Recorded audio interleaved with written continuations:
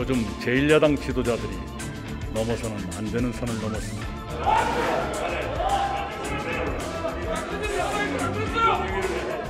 야당은 완벽하게 잘못 짚었고 복구할 수 없는 공격을 대통령께 가했습니다.